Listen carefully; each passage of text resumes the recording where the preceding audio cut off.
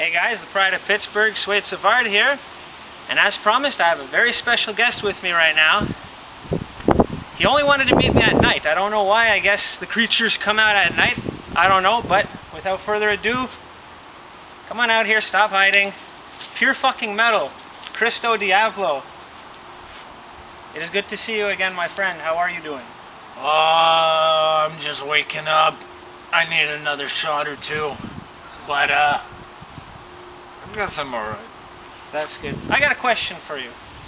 And I'm sure all these fans watching have the very same question for you that I do, Xristo. Okay.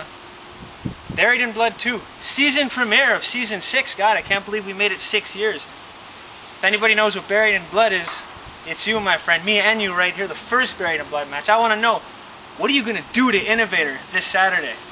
Well, let's start with what I'm not gonna do. I'm not gonna lose. That's a good start. It's a good start. You're not going to lose. Uh, oh, give me a second here. I- Please, continue. well, sorry guys. First of all, I, I'm a little more sober than usual, so this might not make much sense. Uh, but second thing is, I'm not gonna climb a ladder because that's how I lost the last time. Oh, I yeah, had to when make I, sure that when I pushed you off. that, you that, that was not a good idea. Good times, though. Good times. Well, fuck, good times for you, maybe. Fuck, Yeah, man, that hurt. But, um, I guess my next point would be what I am gonna do. What I am gonna do is exemplify what no mercy means. Because Innovator obviously has been stirring up all kinds of shit around Oh, here. tell me about it. Vacated all the titles except for his own. What the hell is that crap? You know what? Can you say I'm not fucking surprised?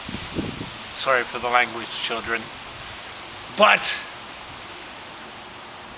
he's not gonna get away this time. He's getting old, he's slowing down. The only reason why he's getting away with this is because he has that GM power and that stupid fucking lamp. And not even more. He was just fired. well, yeah, I mean, that, that gives it all away. He's screwed now. hey, we don't even know who the GM's gonna be. Hey, Maybe it's me. Who knows? You know what? I wouldn't mind that.